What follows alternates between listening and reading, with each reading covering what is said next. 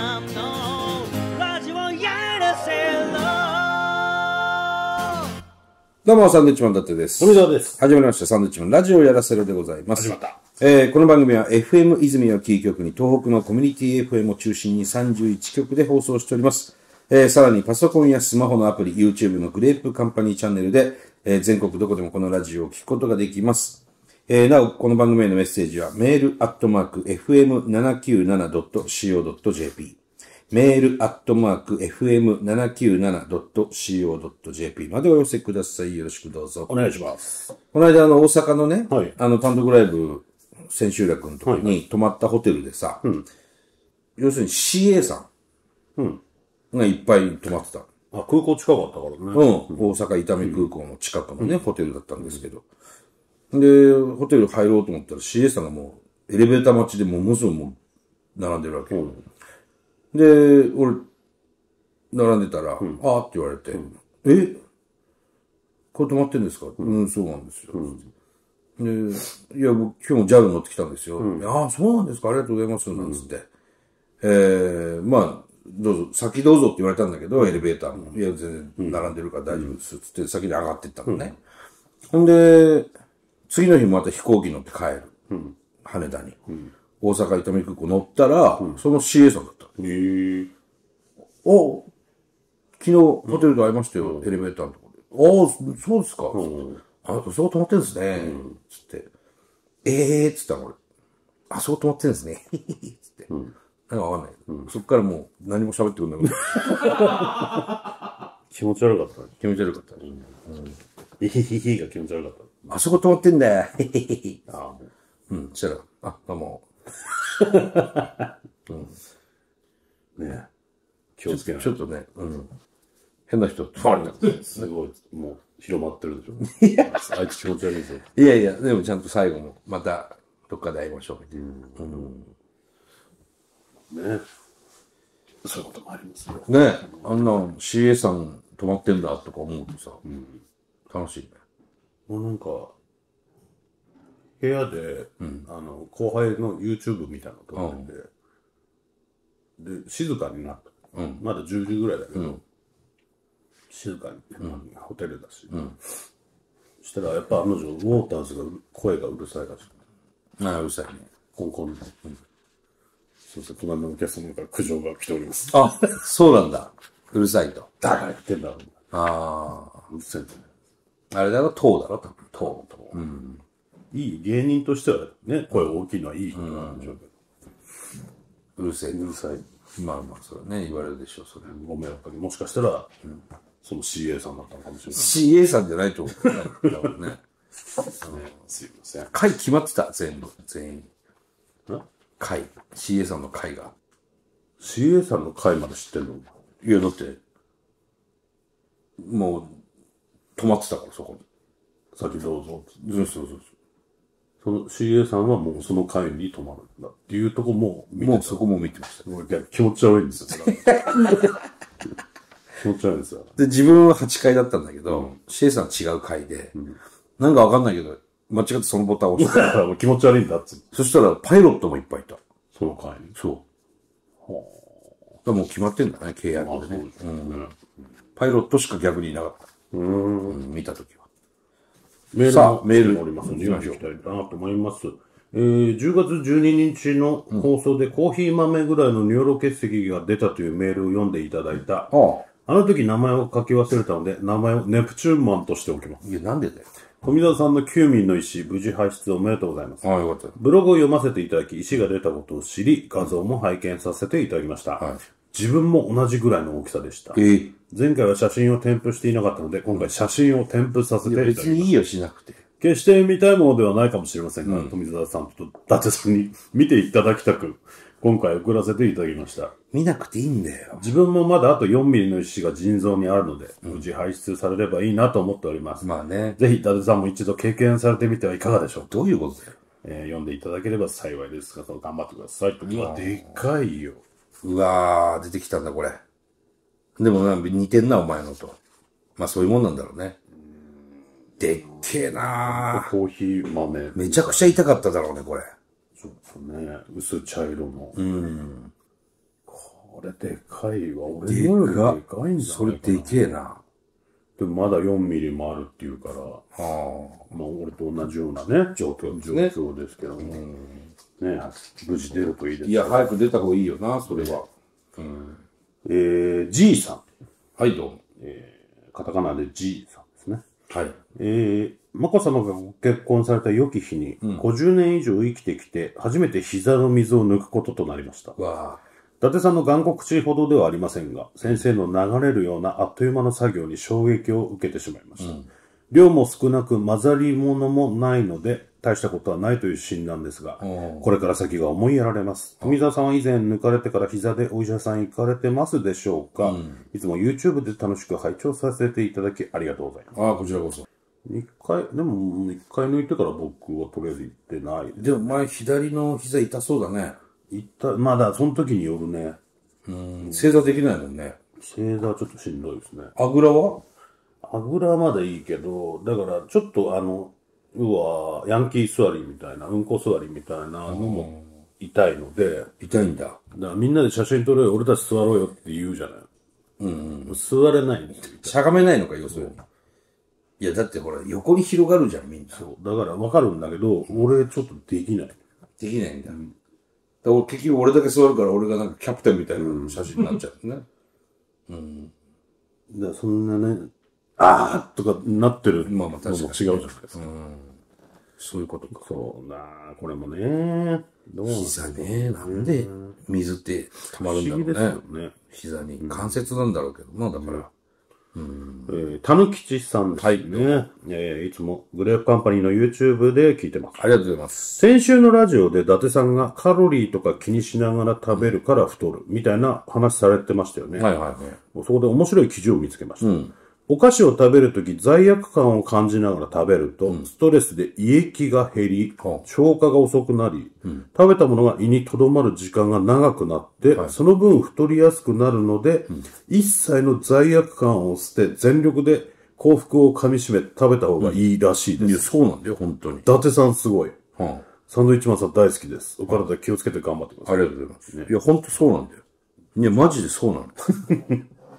実際に。実際に出てるの、証明されてんだ、これ。ね。食べる時の雰囲気とかね。精神的なこう、ああ、もう、これは食べようって食べるものは太らない。幸せだけ感じてればいい。うん、こんなの食ったら太るだろうなとか思いながら食べると太る。あこちらも来てます。橋本くん。どうも。えー、伊達さんが以前から提唱している、太ると思わなければ食べても太らない説に関しての情報です。ありがとうございます。いかにサンドイッチマンファンの私もちょっと何言ってるかわからないと思っていたんですが、やいや科学的な根拠があるようです。はい。太ると思って食べると、体がストレスを感じて胃液が減り、はい消化が遅く、同じことですね。えー食べ物がとどまる時間が増えた結果的に太りやすくなるそうです。正直、伊達さんの太らない話とか信憑性ゼロだったんですが、まさか裏付けがあったとい。や、そうなんだって、だから。これでゼロカロリー理論も完成に近づいてきましたね。いつか論文出しましょう。えー冗談はさておき、この冗談だったのラジオの話で、だけでもめちゃくちゃ暴食してるようですが、食べ過ぎは良くないので気をつけてください。いや、それは分かってますけどね。まあ一緒ですよね、これはもそうそうそうそう。いや、本当に科学的根拠があって僕は、ラジオで言うぐらいですから、そんな。う。えー魚のあゆさん。どうも。お二人こんばんは。こんばんは。あ、牛丼特盛りを食べ終わり、コーンチョコ食べてるとこすいません。どっちも食ってねえよ。いつも富澤さんの横にいるダンプ松本さん。あなたは覚えてますか？なんだよ。先日太り方を教えていただきたいとメールさせていただいたもの。僕はあれからいろいろと太り方を試しました。そして、麺類が一番太りやすいということが分かりました。小麦粉ね。ただ僕の場合、顎に肉がついてしまい、お腹には肉がつきませんでした。なぜお腹には肉がつかないのでしょうか、人それぞれ違うのか僕だけなのか不思議でならず一晩中頭を抱えて悩みました。どうしたらいいもんかそして一つの決断が。はい。それはつい先日全国肥満体臨時顧問から肥満体理事長に昇格した三木を伊達にアドバイスをもらう。就任してねえよ、そんなの。これはやはり国会で討論するぐらい大事なことだと。入ってんだろ。今後あなたが総理大臣になるにあたっての問題には取り組まないといけません。この問題には取り組まないといけません。ずっと何言ってんだ質問には正確な回答をお願いします。まあ、好感度1位ですから心配ないと思いますが、もしこの質問にあやふやな回答もしくは記憶にございませんなどと回答した場合、あなたの好感度は10個下がります。頑張ってくださいね。それじゃあな、ミキオ伊達。記憶にございません。ダンプ松本。世界の伊達ミキオ。記憶にございません。いや、宇宙の伊達ミキオ。もういいわ、うるせえな。頑張れよ。言ってんだ、こいつ。記憶にないよ。何を言ってんだ、ずっと。一言目から途。中からよくわかんなくなりました。何を言ってんの？えー、単独ライブ行ったよさん。ありがとうございます。えー、毎週欠かさず YouTube で聞いてます。あら、嬉しいですね。この前ラジオで、気の持ちようで太る太らないの話をされていたのを刺さってんな、いろんな人に。思い出したことがあったので書きます。はい。職場の元同僚と話をしていて、サンドイッチマンさんのファンであることで話が盛り上がり、おうでその元同僚の親戚の子の話になりました。ほうほうその子は思春期に摂食障害を伴い、大量に食べては吐くを繰り返して、病院に入院したことまであったそうです。摂食障害は入院したから治るものではなく、食べるイコール太るという強い思い込みを克服するまで自分との戦いが続くんです。わ、これきついですね。なるほど。えーそんな中偶然に変な歌を聴いたそうです。それがあの伝説の楽曲、サンドイッチマンさんとモンキーマジックさんがコラボしたウマーベラスです。マーベラス。その親戚の子は曲の歌詞を聞いて衝撃を受けたらしく、ほ普通ならちょっと頭があれな人が、人か気は確かなのかのレベルの ゼロカロリー理論を、そういう考え方もあるんだ、と思うことで、妙に気が楽になったそうです。それ以降心が折れそうになった時にウマーベラスを聞いて、自分を励まして克服し、マジで？今では結婚もされて普通に食べられるようになったあ。よかったですね。その子にとっては、ウマーベラスはまさに神曲だと言ってました。はあ。長文になり申し訳ありません。これからも体に気をつけて頑張ってくださいろんな人を助けてますね。い。ウマーベラスで、はあ。摂食障害ゼロカロリー。が。はだって俺がゼロカロリーって言ってなかったらあの歌できてないからい。ね。まあそうですね。うん。そしてそれが、はあ。あ、そう。そういう考え方もあんのかと。へえ。ずいぶん前向きに捉えましたね。ね。そう、食べるイコール太るって思い込んじゃったらもうこれは、うん。で、だから、ほんとよっぽど深刻だったんだろうね。精神的な病気なんでしょうけどね。本当に雲の糸的な歌なんでしょそうか、あれ聞いて、う。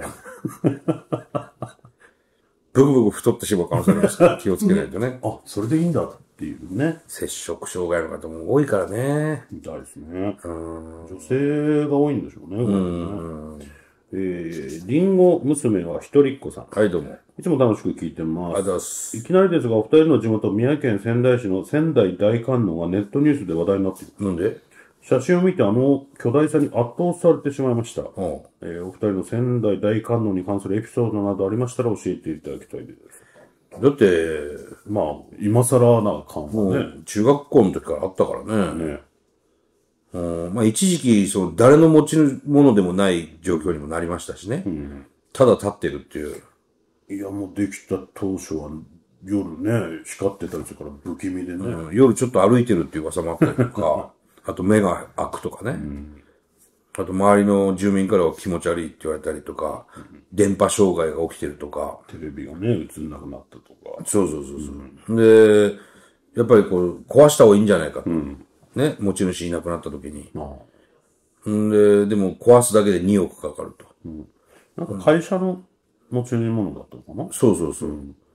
んで、その2億じゃ誰出すんだみたいなところからしばらく置きっぱなしになってて、今は、あの、所有者がいてね、ちょっとこう、あの、なんだろう、宗教法人みたいなところが持ってるのかな？どうなんですかね。うん。お寺みたいになってるね、神社みたいにね。うんで、中も入れるしさ。もうこの間も入りましたけど、面白いよね。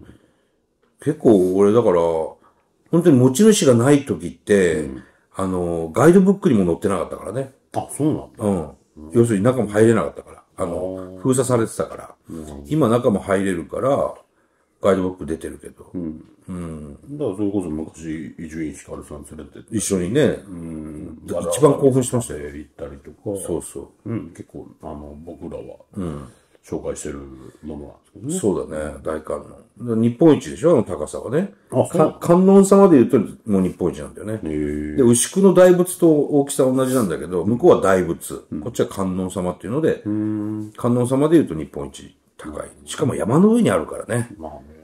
ああ、中山のね。結構いろんなところから見えますかそうそうそうそう。あれはね、やっぱ、みんな連れてくと焦るよね。うん。面白いと思います。はい。ぜひ行ってみてください。ね。えーサンドイッチマンの耳気持ちよすぎてサンドイッチマンさん。どうも。えー茨城支部の一丸です。はい。10月25日、イーグルス対オリックスの試合、イーグルス先発のマー君がファンモンさんのあと一つで登場し話題になっていましたが、伊達さん、いや、伊達 GM 代行はご覧になられましたか？これ言った試合かな、あの伝説の2013年を思い出しますね。投げては8回2失点と先発の役割を十二分に果たしてくれまいや、した。本当だよ。しかしそれを上回ったのがオリックスのエース山本投手。すごかったね。自身15連勝、そして背番号と同じ今季18勝目を完封でマークしました。はい。まるで2013年のマークを見ているようでした。両チームとも力と力の勝負という雰囲気がビンビン伝わってきました。これからクライマックスシリーズ、日本シリーズと続きますが、伊達 GM 代行の展望を聞かせてください。これ、こちらからは以上です。まあまあ多分、この番組をオンエアするときはもうクライマックスも全て終わってる、と思いますけどね。うん。いや、この試合俺言ってんだよね。これそーっと。これもう本当にそーっと言ってるの誰も見つかんねえよ。マー君みたいって言ってね。そう。マー君と山本由伸の投げ合い。あんなん、いやもしかしたらマー君がさ、メジャー行っちゃうかもしれないから、来季。そうなるとこの戦いってなかなか見れないと思って見たくて行ったんだけど、本当に投手戦で、まあ6時から始まって大体プロ野球って9時とか9時過ぎまでやるけど、8時10分15分ぐらいに終わったからね。早いよね。もう投手戦だから。うん。で、最後、ブセニッツ出てきて、また2点取られて、4-0で負けたのかな。いやーでもさすがだよ、マー君もね。うん。山本投手は今日本一でしょうから。すごかったよ。うん。誰にも見つかんないように言ったはずなんですけど、何人かには見つかる、ね うん。で、さ、いつも、あの、上の部屋、ビップルームみたいなところ、なんかこう案内されるじゃん。で、あそこから見てください、なんつって。でそこもいっぱいで、やっぱその試合見たい人多かったみたいで、オーナー席が。ほんで、どこに連れてってもらったかっていうと、星野さんが来た時に必ずここで見るっていう部屋があるの。ええどこにゃ本当にバックネット裏の、あの、いつも俺らがいるところよりもうちょっと下のところで、もう目線がグラウンドレベル。ああ、違っちう。あそこはほら、三木谷オーナーの席。あそこも座ったことあるけど、もっと上のね、観客席とかのところ一緒になってるところで、そう、喫煙所があるのよ。ちょっと狭いんだけど、星野さんが愛煙家だったから、ちっちゃい喫煙所もあって、で、売店とかもすぐ行けるから、まあ、たこ焼き買ってきたりとか、で、星野さんのユニフォームがドーンと飾ってある。まあ、いい、いいとこだよ。ねえ。なかなか防御率はちゃんと抑えてるんですけど。試合はね、完璧に作るから。なかなかね、打線の援護が少なくて負けてしまうことが多かったです。そうだな、マー君らしくない戦績でしたからね。まあでもメジャーの、あの、人は、やっぱ田中すごいってなってるみたいですけどね。どうなんですかねいっちゃうのかななんか、やっぱヤンキースが、今回ワールドシリーズ残れなくて、それなんでだってなった時に田中を放出したからだっていう、まあずっと試合は作ってたから向こうでもね。呼び戻せと。ユーモセっていう、今現在、今だ、この段階では、そんな話になってるっていう。なるほで、そういう契約してるからね、マー君もね。ど。まあ、一年契約でしょう。2年契約なんだけど、1年後に行ってもいいよっていう契約なの。柔軟だね。一年ぶりにメールさせていただきます。恋人です。どうも。えー、恋、あの、カープの恋です。うんうんうん。神奈川からいつも YouTube で楽しく聞かせていただいている、広島カープファン。ありがとうございます。このメールを書いている時点ではパリーグの優勝だけが決まってない状況で、楽天は3位、我がカープは終盤頑張ったものの4位でした。セリーグではヤクルトが優勝、元楽天の今野投手が大活躍でしたよ。活躍だよ。そして、そして楽天からついに発表されてしまいましたね。藤田選手の対談に続き、牧田投手などが戦略外になってしまいました。のりもっちゃんの弟もだね。あ、なったんですかそう。かわいそうになやっぱカープファンとしてはショックなのは下鶴選手ですね。あ、下鶴ね。うん正直トレード後の活躍を見る限り近々と覚悟はしていましたが、やはり寂しいです。トレードで広島に来てくれた三好選手は、スタメン機会こそありませんが、セカンドにサードにダイソーに一人で何役もこなす、なくてはならない存在になっているので、寂しさが際立ちます。なるほどね。えー鈴木誠也選手のメジャー挑戦が秒読み段階なので、右の外野手としてカープが下鶴選手を獲得することを期待しています。ああ、戻すかな、うん同じくトレードで移籍した楽天福井投手、カープ菊池康則はいはいはい。投手の活躍に期待したいと思います。そうだね。広島とも結構やり合ってるもんね。そうだね。三好なんかはね、ボイナリーヌも来てくれたしね、うん、仲良かったんですけど、まあ広島で一生懸命頑張ってるんでね、もう似合、あの、ユニフォームも似合ってきましたよ。うん。いいんじゃない？ね。また、こんちゃんが頑張ってくれてるのも嬉しいですいや、本当だ、年俸上がるぞ、あれ。どんな感じの成績ですか？7勝。ああ、まあ中継ぎなんだけど、いいところで抑えて、その後点取って勝ち投手になったりしてるから、まあでも、まだ若いしね。もうね。まあ楽天でもそんなに悪いわけではなかったからね。そうそうそうそう。まあ、こんちゃん的には良かったんじゃない？ね。まあ我々結婚式も行ってますからね。はうん。い。活躍してほしい。島選手も、どうやらコーチ兼選手みたいなの打診されてるみたいだね。ヤクルトで。ヤクルトで。あの、15試合しか出てないんだけど、1軍でね。ただ1回も2軍に行かなかったんだよね。ずっとベンチで、1軍と帯同してて、あの、すごいベンチを盛り上げて、よかったみたいよ。うんなくてはならない存在みたいな、今ね。待ってくれればね、何より。まあ、そういう立ち位置で、実はイーグルスにいてほしかったんだけどね。なかなか、まあま思うようにはいかないね。あ、いつか戻ってきてくれることをね。うん、もちろん望んでますよ。うん、藤田選手しかり。はい。えー、続いては、えー、ラジオネームを変更しようと悩んだんですが、初子貫徹で単壺ドリンクバーでいきます。汚ねえな。漢字だとあれなので、カタカナの単壺でお願いします。汚いんだよ。少しは爽やかでしょ。汚ねえっつって。今日も元気です。先日のことですが、公衆トイレで後ろから、後からかな、えーかなりの危機感が顔に現れているおじさんが急いで大のトイレに駆け込んでいき、それはそれは乙姫も太刀打ちできないくらいのビッグウェーブサウンドを響かせたと思ったら、すげえすがすがしい顔で出ていきました。そいついつまでいたんだよ。自分は内心すげえな、なんもなかったかのように出てきたよ。と、尊敬の眼差しをそのおじさんに送るのでした。なんでこいつずっと便所にいんだよ。そんな自分は、やっぱり元気です。まあもう元気なんでしょう元気ね。なんで、よかったな。あの人は何ずっとおしっこ止まんなかったのかな？んでしょうね。気持ち悪いですね。な。ねね。ちょっとなんかもう、爽やかなメールが欲しいですけど。えー、続いては、ウォシュレットは飲料水。募集ね。サンデーチョーさん、ドレッシング。あ、違う、こんばんは。全然違えよ。サムさん、ここで一つ、ウォシュインの悩みというか、22年間生きてきて、22なんですね。22回。難しいなといつも思うんですが、キャベツの千切りやミックスサラダみたいなものにドレッシングをかけますよね。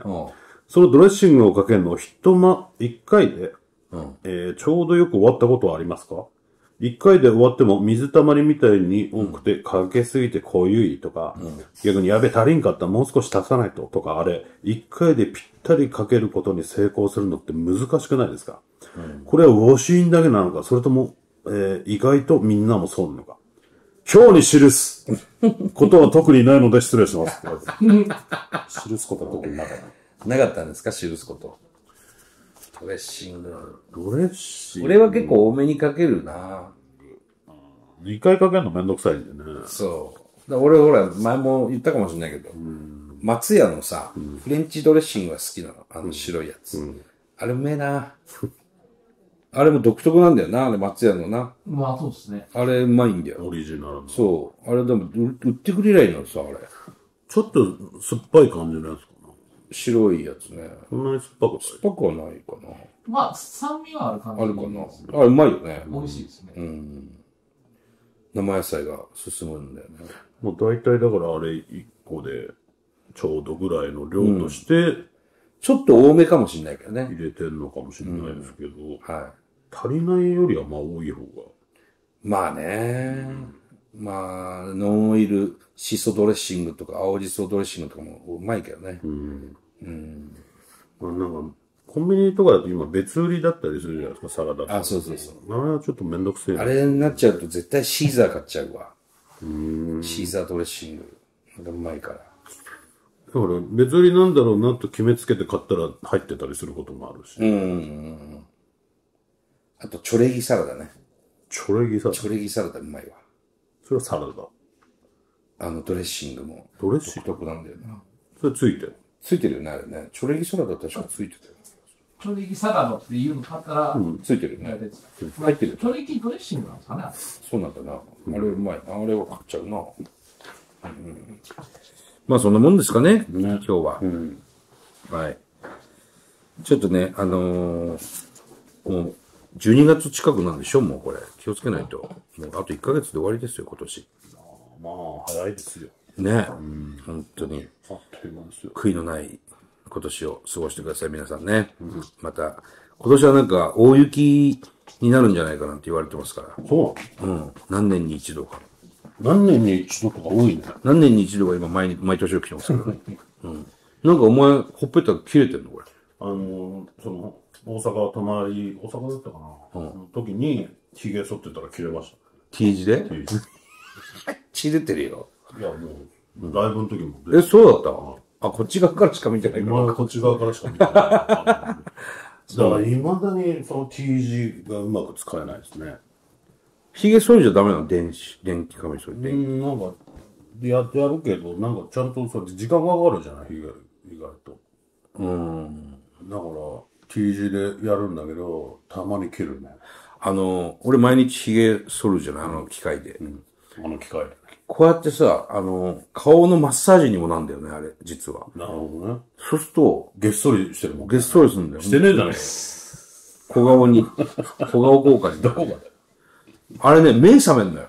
あ、そう顔をこうやって自分で動かしてると。なるほどね。意外とそれで、シャキってなるっていうか、眠い時とかも、髭剃るとこう、目覚めるっていうか、それで剃ってるけどね。うん皆さんはどうやって目を覚ましてますか？